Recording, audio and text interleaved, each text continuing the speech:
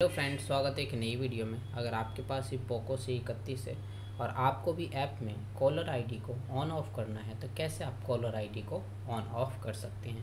तो चलिए वीडियो करते हैं स्टार्ट सबसे पहले आपको अपने फ़ोन में डायल पैड को ओपन करना है। ओपन करेंगे तो आपको इस टाइप का इंटरफेस देखने को मिलेगा। सबसे टॉप में राइट साइड में सेटिंग्स के आइकन पर क्लिक करना है। आइडेंटिफाई अननोन नंबर पर क्लिक करना है। क्लिक करेंगे तो आपको इस टाइप का इंटरफेस देखने को मिलेगा। आपको यहाँ पर कॉलर आईडी मिल जाएगा राइट साइड में स्विच मिल जाएगा। अगर आपको ऑन करना है तो ऑन पर स्विच पर क्लिक करके ऑन कर लेंगे। अगर आपको ऑफ़ करना है स्विच पर क्लिक करके ऑफ़ कर लेंगे। ओके कर लेना है, कर लेना है। आप इसी तरह से कॉलर आईडी को ऑन ऑफ़ कर सकते हैं। तो आज की वीडियो में बस इतना ही।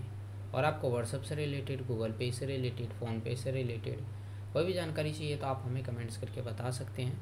नहीं तो आप वीडियो प्ले लिस्ट में जाके आप वहाँ से भी प्रॉब्लम को सॉल्व कर सकते हैं।